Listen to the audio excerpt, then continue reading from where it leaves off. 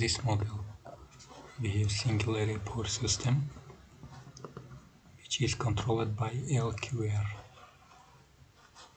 LQR linear quadratic regulator.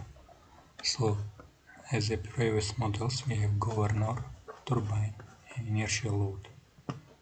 And uh, for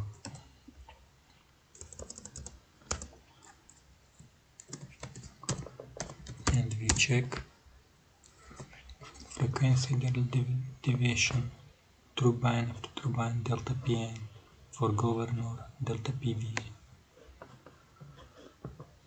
and the gain for the gain scope for the gain. Here we have LQR gain linear, linear quadratic regulator gain. It can be changed it we change it also?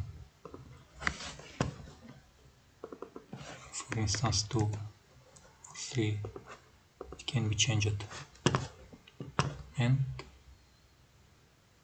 click run.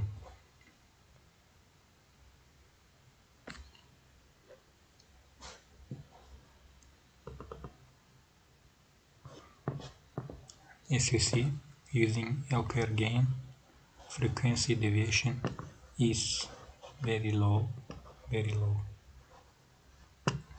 comparing with previous ones. Also if you check delta PN delta PN is also very low comparing with previous ones.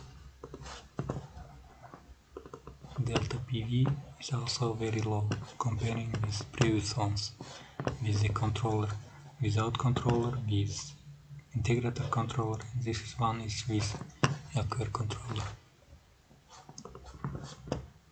Thank you very much